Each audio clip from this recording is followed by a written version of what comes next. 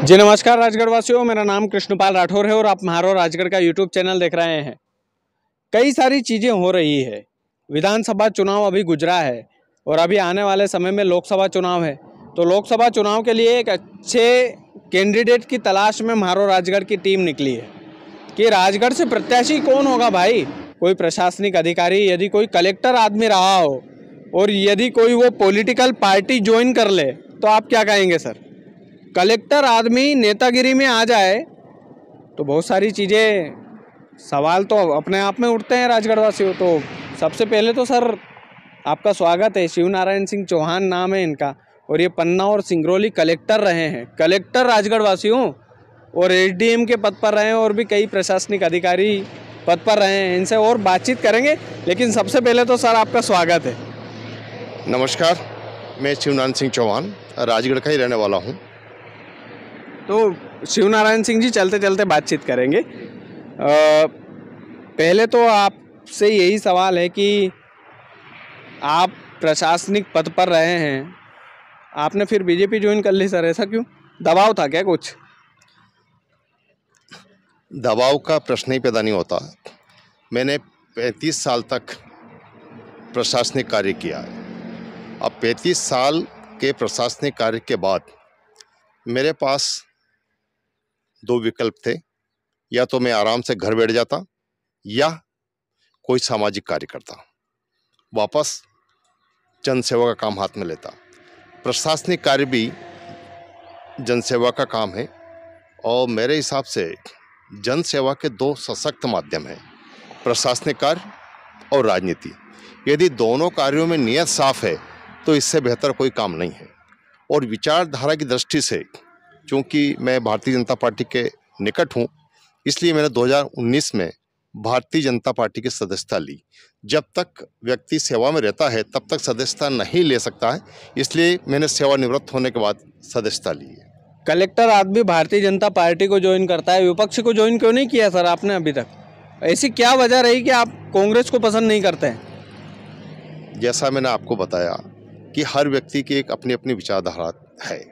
मेरी जो विचारधारा है राष्ट्रवादी विचारधारा है और हिंदुत्व की विचारधारा है इन दो स्ट्रांग पॉइंट की वजह से मैंने भारतीय जनता पार्टी को ज्वाइन किया है। आ, आप ये इनडायरेक्टली चलते चलते बात करेंगे सर आप इनडायरेक्टली बोल रहे हैं सर कि कांग्रेस राष्ट्रवादी नहीं है।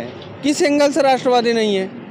गांधी परिवार का खून बहा है इस देश के लिए सर आप क्या बात कर रहे हैं? हाँ, मैं किसी पार्ट मैं किसी पार्टी की आलोचना नहीं कर रहा हूँ हम्म। मैं ये नहीं कह रहा हूँ कौन सी पार्टी राष्ट्रवादी है या नहीं है हम्म। पर जो मुझे वर्तमान प्रदर्शन में जो पार्टियाँ अस्तित्व में हैं और जो मुझे सबसे उपयुक्त है और जिनकी विचारधारा मेरी विचारधारा से मिलती है हम्म। उसी पार्टी को मैंने 2019 में ज्वाइन किया है भाजपा की दो अच्छा ही बता दीजिए मुझे रोज़गार का गए हम लोगों का आप एक्चुअली में आप जो बात बातें कर रहे हैं आपके पास डेटा नहीं है इस कार्यकाल में जो रोज़गार दिए हैं उनको आप देखिए। इंफ्रास्ट्रक्चर आप देखिए।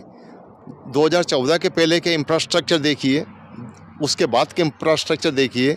और आप तो चूँकि राजगढ़ के ही रहने वाले हैं हम्म। राजगढ़ में 2014 के पहले क्या हालत थी और आज क्या हालत है? पहले भी यही हालत थी सर अभी भी वही हालत है। मैं तो राजगढ़ का रहने वाला हूँ सर। राजगढ़ की तो नौकरियाँ नहीं मिलती राजगढ़ में लोगों को ईमानदारी की बात है। नहीं नहीं देखो कृष्णपाल जी यदि आप आराम से और पूरा विश्लेषण करेंगे निष्पक्ष रूप से तो मेरे ख्याल से आप भी फ़ैन हो जाएँगे। फिर आप... सर निष्पक्ष ही हूँ मैं। मैं तो मैं ऐसा नहीं बोल रहा हूँ कि भाजपा गलत है पूरी तरह से गलत है लेकिन कुछ चीज़ें चुपती है सर। इस वजह से थोड़ा सा दुख होता है कि शिव नारायण सिंह चौहान जी एक कलेक्टर रहे हैं। वो तो जानते हैं भाजपा की पॉलिसी को।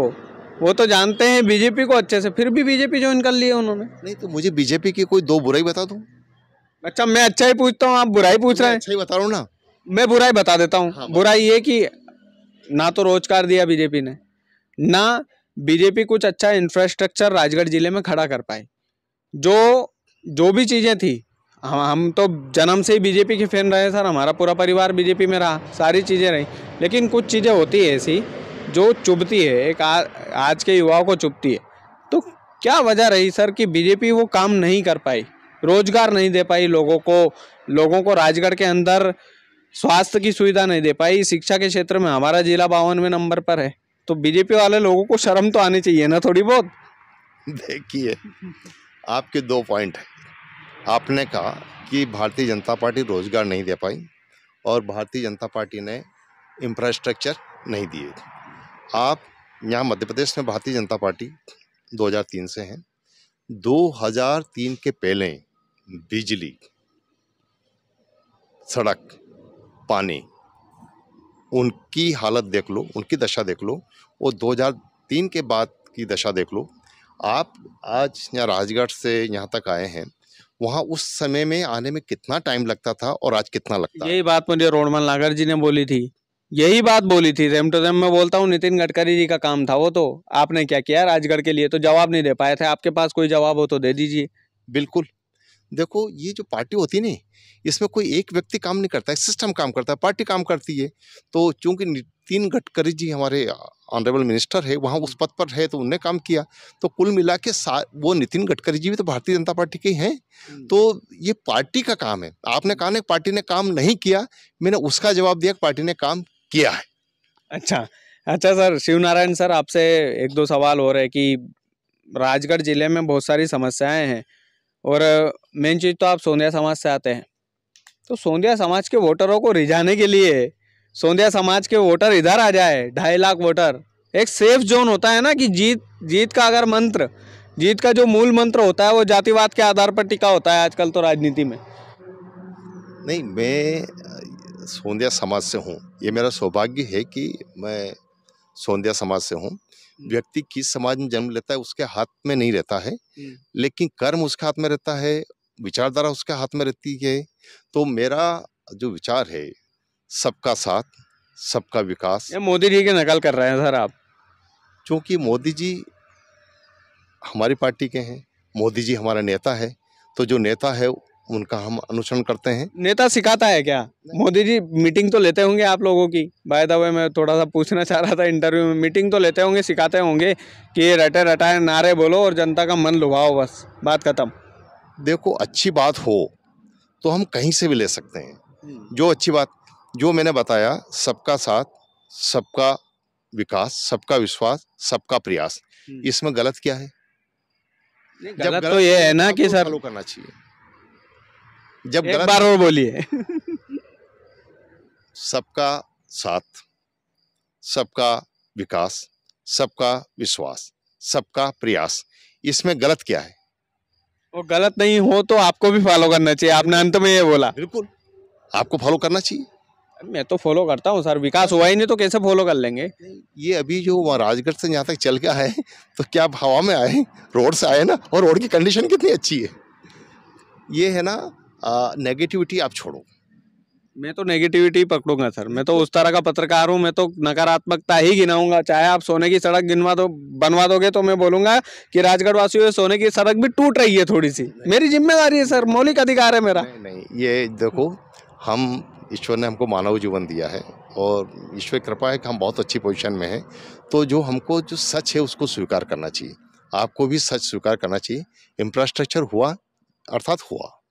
अच्छा सर, एक दो सवाल और, ये कि जिसके बेटा बेटी पायलट उड़ा रहे हो मतलब पायलट बन गए हो, माफ़ कीजिएगा, और हवाई जहाज़ उड़ा रहे हो, हमारे मालवा में तो चिलगाड़ी बोलते हैं उसको तो जिसके बेटा बेटी चिलगाड़ी उड़ा रहे हैं, हवाई जहाज़ उड़ा रहे हैं, उसको क्या ज़रूरत है नेता बनने की? बढ़िया आराम से ज़िंदगी जियो ना क्या मतलब है माता बच्ची करने से नेतागिरी? और इतना इतना कुछ तो दिया है ईश्वर ने, अगर आपकी जगह मैं होता, भगवान का सब नेतागिरी में नहीं उतरता मैं।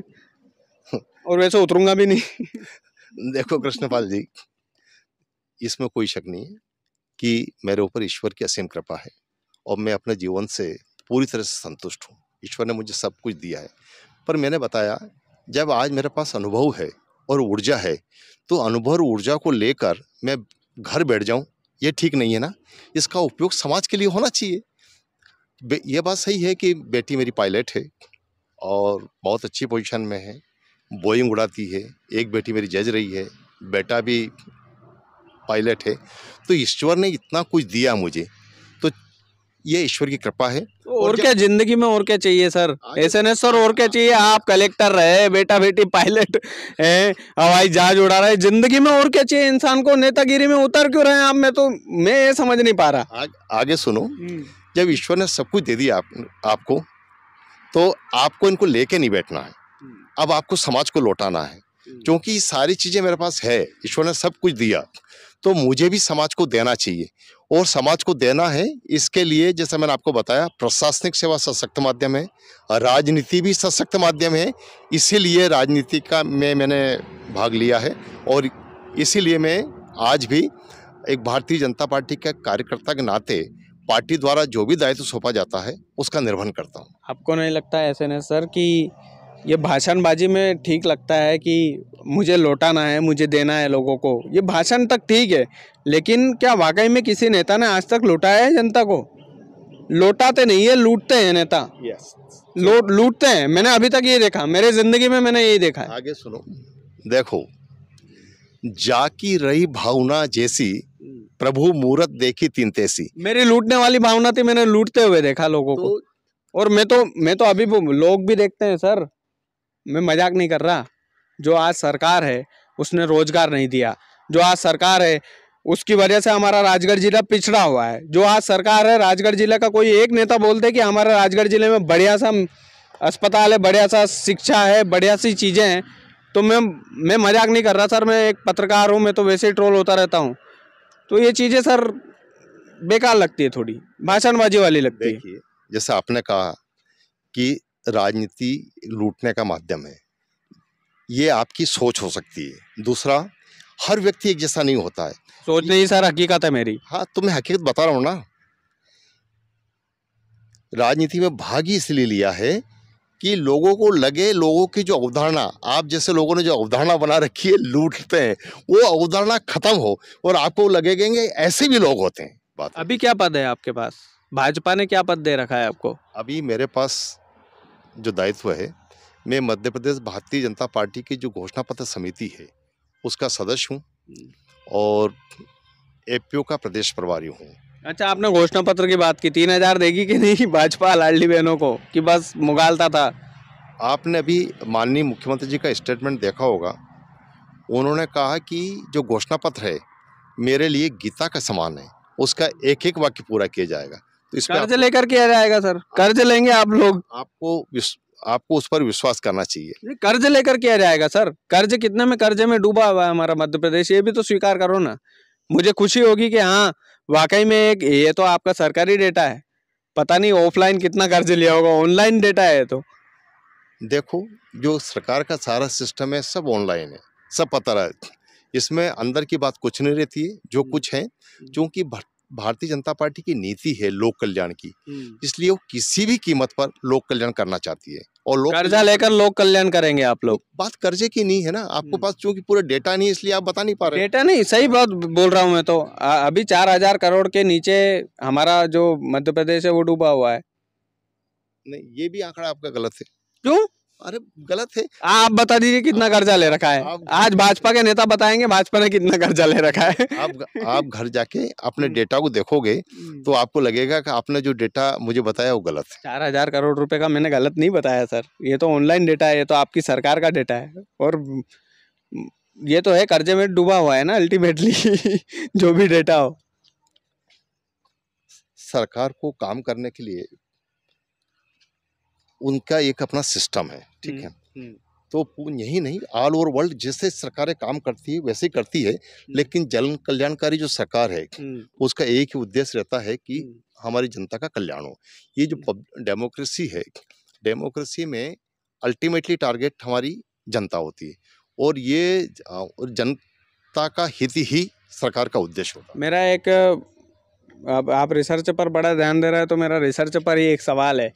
रिसर्च में मैंने पाया था कि आप भाजपा के जो है वो, पैनल में आए थे पिछली बार लोकसभा चुनाव में। तो क्या हो गया था? मजमा तो लूट कर ले गए रोडमल नागर जी और आप वैसे के वैसे ही रह गए।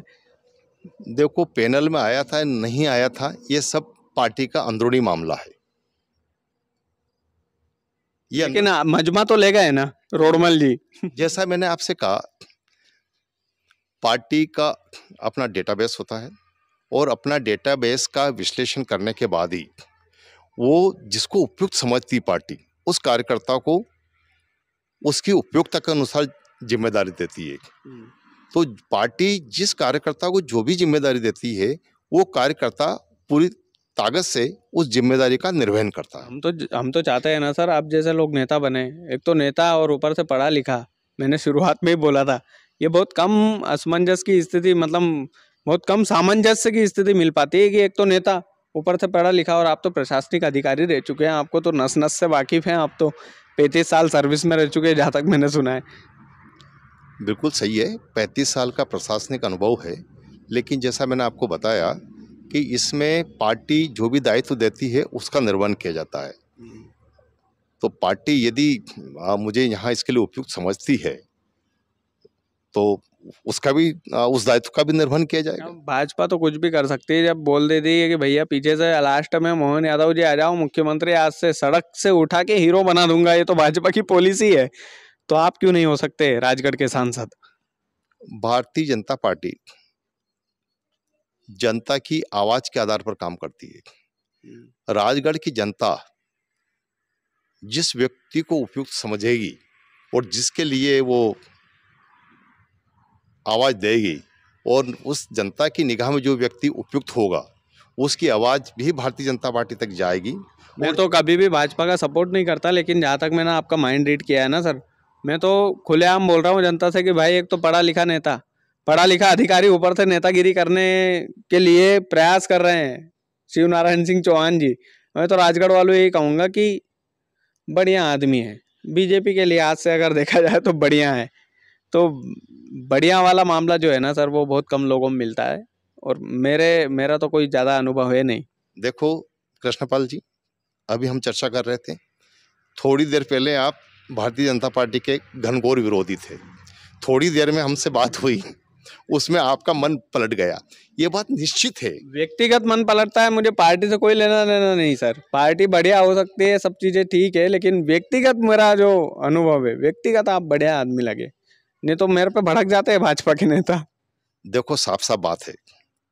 यदि व्यक्ति की नियत साफ़ है, उद्देश्य पवित्र है तो ईश्वर उसको काम करने का मौका देता है। और निश्चित रूप से जहाँ भी जिस हैसियत से मौका मिलेगा, उस हैसियत से काम करेंगे, अभी कर ही रहे अभी घोषणा पत्र समिति का मैं सदस्य के रूप में काम करना था तो पूरी ताकत से घोषणा पत्र तैयार किया। कितने कितने सदस्य थे घोषणा पत्र सदस्य समिति में? घोषणा पत्र समिति में अभी वर्तमान में जो माननीय डिप्टी सीएम है राजेंद्र शुक्ला जी उनके सहित उन्नीस सदस्य थे। तो उस पूरी टीम ने तैयार किया अच्छा डिप्टी सीएम भी घोषणा पत्र के जो सदस्य थे वो बने हैं। तो आपकी नज़र अब राजगढ़ के ऊपर है। नहीं मेरी मैंने क्या कहा? चूँकि राजगढ़ के रहने वाले हैं और जहाँ के रहने वाले हैं वहाँ से लगाव स्वाभाविक है। देखो, ये बिल्कुल सही है कि जननी जन्मभूमिश्चा स्वर्ग आदिफ, गरियासी। जननी और जन्मभूमि स्वर्ग से भी श्रेष्ठ होती है। ये स्वाभाविक है कि जहाँ के आप रहने वाले हैं, वहाँ से लगाव होता है। तो ये भी इच्छा होती है कि चूँकि राजगढ़ के रहने वाले हैं तो राजगढ़ में काम करने का मौका मिले। लेकिन चूँकि सरकारी सेवा में रहते हैं तो गृह जिला आपको नहीं मिलता वरिष्ठ पदों पर। यदि राजगढ़ के कलेक्टर होते तो बात ही अलग थी। बच्चा बच्चा जानता ना सर। पन्ना में इनके जलवे है। राजगढ़ वालों मज़ाक नहीं कर रहा। सर पन्ना वालों से मैंने पूछा है मैं रिसर्च के साथ आता हूँ। पन्ना वालों से मैं पूछा हूँ घर घर में नाम लिया जाता है आपका शिव नारायण सिंह चौहान जैसा कलेक्टर होता। आज भी होते हैं वो। आपकी जब विदाई हुई थी सर जब आपको विदा किया जा रहा था तब लोग सड़कों पर लेट गए थे आपको नहीं जाने के लिए कि नहीं जाने देना है हमें? तो ये क्या कहानी है? ये भी थोड़ा सा बता दो। देखो सीधी कहानी है। मैंने क्या कहा? कि आप में जन सेवा की भावना हो, आपकी नीयत अच्छी हो और ईश्वर ने आपको जिस हैसियत में रखा हो, उस हैसियत में पूरी ताकत, निष्ठा और समर्पण से काम करोगे तो आपको भी संतुष्टि मिलेगी और जनता को भी निश्चित रूप से संतुष्टि मिलेगी। मेरे साथ एक था ना, मैंने जो भी काम किया है, सेवा की भावना से किया। कलेक्टर भी था तो कलेक्टर की ठसक से काम नहीं किया मैं ये सोचता था कि ईश्वर की कितनी बड़ी कृपा है कि मुझे पूरे ज़िले की सेवा करने का मौका मिला। क्योंकि उस नियत से किया लोगों के काम हुए तो निश्चित रूप से लोगों का लगाव मुझसे था। अच्छा मध्य प्रदेश के बड़े नेताओं से बनती है कि नहीं? क्योंकि टिकट में मदद करते हैं वो लोग। नहीं मैं कोई इतना बड़ा नेता नहीं हूँ। मैं तो भारतीय जनता पार्टी का कार्यकर्ता हूँ। ये ये हर नेता बोलता है सर। ये तो ये तो हमारे ज़िले के सांसद जी भी बोलते हैं विधायक जी भी बोलते हैं। मतलब मैंने बीजेपी के जितने नेताओं को इंटरव्यू किया है जितने नेताओं के सामने गया है गया हूँ मैं वहाँ यही सुनने को मिलता है कि ये तो भारतीय जनता पार्टी का मैं तो छोटा सा कार्यकर्ता हूँ साहब मेरे अंदर कुछ नहीं है। देखो इस पार्टी में हम्म, शीर्ष नेतृत्व जो काम सौंपता है वो काम कार्यकर्ता द्वारा किया जाता है। एक कार्यकर्ता ही मानते हैं आप अपने आप को। निश्चित रूप से इसके अलावा और क्या है? सांसद बन जाएँगे भूल तो नहीं जाएँगे हमको। कोई प्रश्न ही पैदा नहीं होता। जब जहाँ जिन जिलों में रहे हैं आपने अभी बताया उन जिलों में लोग याद करते हैं तो आप तो मेरे गृह ज़िले के हो तो कैसे बोलेंगे? मैं आपको क्या किसी को नहीं बोलता। आप शिव नारायण सिंह जी हमने हर तरह से टेस्टिंग ले ली है आपकी। वैसे आप तो पैंतीस साल तक रहे हर आदमी की टेस्टिंग लेते रहते थे। लेकिन मज़ा आया आपसे बातचीत करके एक बार हाथ मिलाइएगा। और ये हाथ मजबूती के साथ क्योंकि भाजपा के विधानसभा के कई नेता हमको बोल चुके हैं जीत के बाद। मैं उनको तंजी मार रहा हूँ आपके आपके थ्रू तो आप मत भूलिएगा सर। और जितने जनता के हित के सवाल थे वो हमने पूछने की कोशिश की है। तो आपसे भी आग्रह है चाहे आपका मकसद हो या हमारा मकसद हो मकसद एक ही होना चाहिए जनसेवा अच्छा काम करें। और आपसे भी अपेक्षा है ये नेगेटिविटी छोड़ें और अच्छा काम करें। नेगेटिविटी नहीं सर जनता के मैं तो पत्रकार तो हमेशा विपक्ष में हो, होना चाहिए और मैं तो छाती ठोककर विपक्ष में खड़ा रहता हूँ। नहीं नहीं नहीं मैं इससे सहमत नहीं हूँ। पत्रकार का दायित्व मेरे हिसाब से है कि जो वास्तविकता है उसको परखना और उसके अनुसार सारे तथ्य पब्लिक के सामने लाना। वास्तविकता ये है कि हमारा जिला बावनवे नंबर पर है। सर शिक्षा विभाग में वास्तविकता है कि हमारे ज़िले में आज तक स्वास्थ्य की व्यवस्था नहीं हो पाई। वास्तविकता है सर कि राजगढ़ ज़िले को अच्छी सड़कें ग्रामीण इलाकों में नहीं मिल पाई। वास्तविकता बता रहा हूँ आपको। तो इसमें वास्तविकता वाली तो बात ही नहीं होनी चाहिए। मैं तो वास्तविकता ही दिखाता हूँ लोगों को और आगे भी दिखाता रहूँगा। देखो विकास निरंतर प्रक्रिया है। विकास एक दिन में नहीं होता और ना ही विकास एक दिन में समाप्त होता, ठीक?